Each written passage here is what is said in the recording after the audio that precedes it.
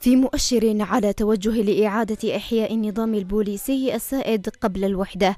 عقدت الجمعية العامة للمجلس الانتقالي الجنوبي دورتها الأولى في عدن باعتبارها ممثلا شرعيا عن الشعب بعد أن عين عيدروس الزبيدي جميع أعضائها وفقا لمصالحه بدعم إماراتي.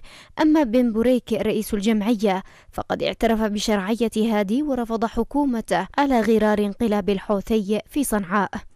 الاستبداد والتناقض كنهج للانتقالي. نعترف بشرعية هادي جمعيتنا ممثلا شرعيا للشعب في مستهل انعقاد ما يسمى الجمعية العمومية للمجلس الانتقالي الجنوبي المدعوم إماراتيا الذي شكله عيدروس الزبيدي وهاني بن بوريك عقب إقالتهما من منصبيهما العام الماضي. قال رئيس المجلس الذي شكل باختيار شخصي منه إنها تمثل صوت الشعب وممثلا شرعيا له.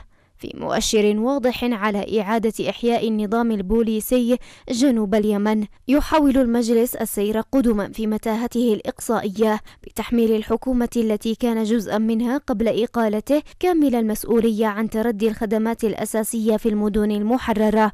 في الوقت الذي يعمل فيه مع ميليشياته على تقويض مؤسسات الدولة الأمنية والخدمية وإنشاء السجون السرية لتعذيب المخالفين والمختطفين والمخفيين قسرا في منازل قادته ومعسكراته. أما المحافظ المقال أحمد بن بوريك رئيس جمعية المجلس فقد أكد اعتراف المجلس بشرعية الرئيس عبد رب منصور هادي لكنه كغيره من أعضاء المجلس يتوعدون بإسقاطها سلما أو حربا في طريقة تشبه دعاوي الانقلاب الحوثي الذي كان يهدم أركان الدولة ويعترف برئيسها هادي.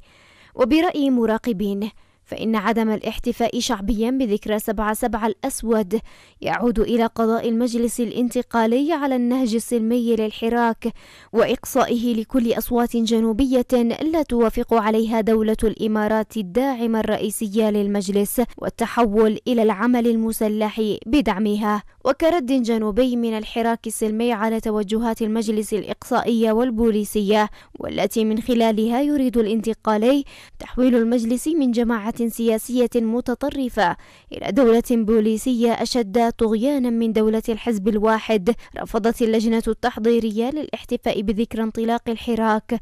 أن يكون مجلس عيدروس ممثلا للشارع الجنوبي وسخرت من مزاعم التفويض التي يدعيها المجلس مؤكدة أن لا تفويض ولا تمثيل لأحد ما لم يكن هناك إجماعا جنوبيا شاملا.